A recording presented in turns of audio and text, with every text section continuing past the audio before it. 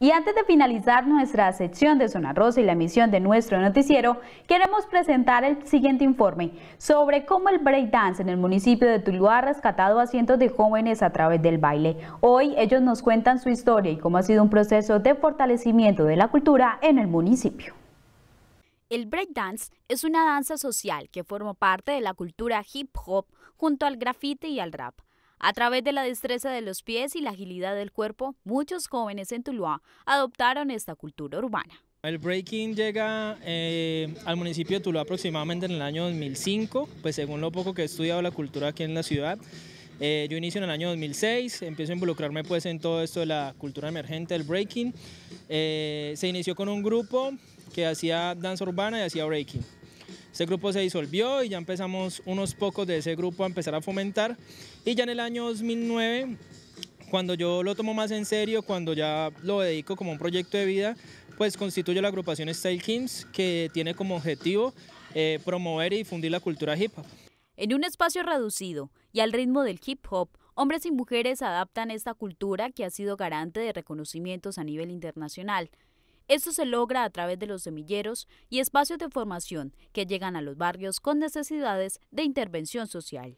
El reto más grande son los estigmas que la gente tiene referente a las culturas urbanas. Digamos que el breaking eh, se originó en, Nueva York en, situaciones de conflicto muy grandes y pues siempre he sido ligado con pandillas, con guerra, con drogadicción, con todo este tipo de cosas. Pero eh, cuando empieza a extenderse por todo el mundo, eh, empieza a generar un impacto en la sociedad empieza a abrirle oportunidades a jóvenes para rescatarlos desde las calles. Y pues digamos que la lucha constante de nosotros es que esto se empiece a ver como una cultura eh, que ahorita pues empezó a ser deporte olímpico desde el año 2020 eh, y pues estamos como en una preparación ya como un atleta. Y entonces queremos pues que la gente entienda que eso es un proyecto de vida para muchos jóvenes como ser músico, ser cantante, mucho tipo de, de estas artes es igual. Tenemos que prepararnos, tenemos que fomentar y la idea es pues que la gente empiece a apoyar ese tipo de encuentros, este tipo de culturas y pues que pueda eh, socializar con nosotros en los espacios que nosotros intervenimos. Este grupo se ha caracterizado por realizar uno de los eventos más importantes en el centro del valle donde se reúnen cientos de bailarines que llegan de todas las ciudades del departamento, además con invitados especiales desde otros países. Rey del Estilo eh, es una iniciativa que nace en el año 2016 y nace con la intención de fomentar, porque vemos que en el municipio hay muy pocos practicantes de la cultura eh, y pues la intención era poder eh, generar este espacio en la ciudad para que los jóvenes que están practicando el breaking aquí en el municipio pues tengan este espacio de encuentro, que puedan conocer bailarines de otras ciudades, jurados de otros países, que no tengan que desplazarse hasta otras ciudades para poder competir, para poder medir sus entrenamientos y pues ha generado gran impacto en la población. Hemos tenido eh, ya cuatro ediciones, el año pasado tuvimos una edición virtual pues por temas de pandemia. Este año estamos proyectando, dependiendo de las medidas que tome el gobierno nacional, pues implementarlo de manera virtual o de manera presencial esencial, pero el Rey del Estilo es esa plataforma que busca que los jóvenes del municipio muestren sus destrezas y sus habilidades eh, con participantes o con espectadores de otros municipios. Así se crea pues este estigma y este compartir de diferentes municipios y que busca pues el intercambio de saberes. El breakdance es una cultura que se expresa a través del baile. No es fácil lograr cada paso.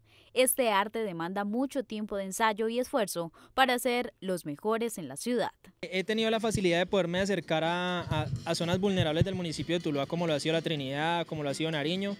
y desde ahí poder conocer otro tipo de visión que tiene la gente de la cultura, digamos que son zonas donde hay poca oferta cultural y pues llegar a intervenir estos espacios es como ofrecerle a los niños y a los jóvenes otra alternativa diferente a lo que ellos viven día a día en esas poblaciones, en esos sectores. Eh, hemos tenido o tenemos talentos de esos sectores que son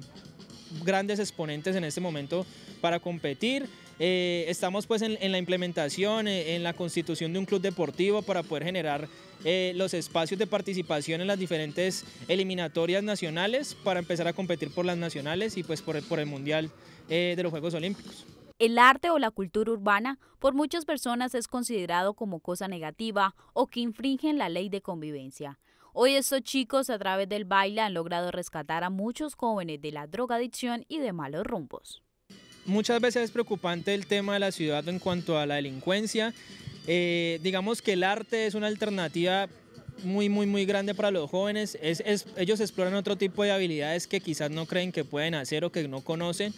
Y cuando se empiezan a encaminar, cuando empiezan a ver que sus habilidades, que su forma de danzar, que su forma de expresión, que son más libres, que pueden transmitir su personalidad cuando están bailando, empiezan a encontrar un, un punto de acogida donde se sienten cómodos, donde llegan con tranquilidad, donde saben que no van a ser juzgados ni se van a sentir violentados y donde empiezan a crear este proyecto de vida que ellos ya empiezan a ver de otros artistas que se genera eh, alternativas laborales, alternativas competitivas, de viajes, de muchas cosas pues que para ellos son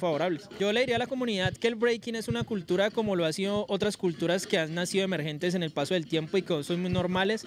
que apoyemos a los jóvenes, digamos que ahorita hay un semillero bastante grande en la ciudad que busca implementar, que busca crecer, que busca poder demostrar todas sus habilidades. Ahorita con el tema de los olímpicos es mucho más importante que puedan apoyar este tipo de procesos porque ya estamos hablando de, poder constituir un club deportivo y que ellos puedan llegar aquí a Tuluá después de participar en un evento nacional con una medalla de oro, con una medalla de plata y poder dejar el municipio en alto. Entonces yo invito a toda la comunidad a que apoye este tipo de encuentros, que si tienen espacios por favor se los faciliten a los jóvenes para que puedan practicar y también los saquen de esos entornos muchas veces eh, los espacios al aire libre, aunque son espacios al aire libre, también son espacios vulnerables para ellos porque pues se pueden presentar cualquier tipo de conflicto en este tipo de espacios.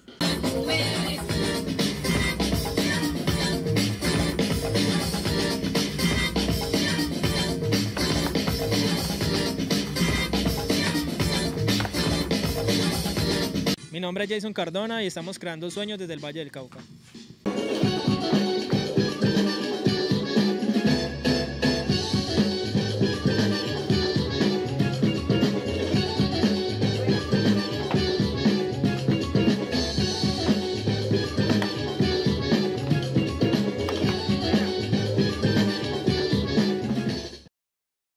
Si te gustó esta nota de CNS Noticias Tuluá, no olvides suscribirte a nuestro canal de YouTube Teluro Producciones y activar la campana para que te lleguen todas las notificaciones.